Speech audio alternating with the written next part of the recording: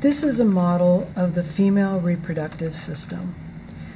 Let's start where the eggs would be released from. That would be this structure right here. This is the ovary. The ovary will release eggs, and those eggs will travel to this structure, the uterus, by going through this tube, which is called the fallopian tube. It's also called the uterine tube. Let's take apart this model for a second so we can get a closer look at the ovary and the uterine tube. You'll notice that at this end of the uterine tube, the part that's closest to the ovary, it gets wider, kind of like a trumpet. And that wider portion of the fallopian tube is called the infundibulum. At the end of the infundibulum, there are these finger like structures and those finger-like structures are called fimbriae. So an egg would be released from the ovary by the process of ovulation, get captured by the fimbriae, go through the, the infundibulum and down the uterine tube or the fallopian tube, and then it would wind up in this structure, which is the uterus.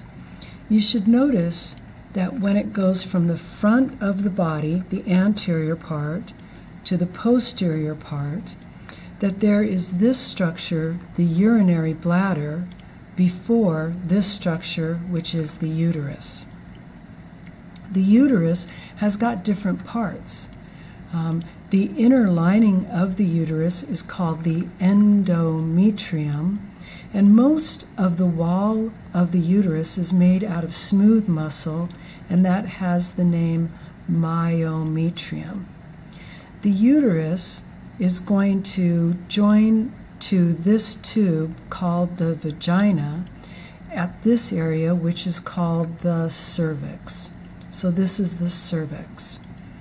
The cervix is the barrier between the sterile environment of the uterus and the non sterile environment of the vagina, also known as the vaginal canal.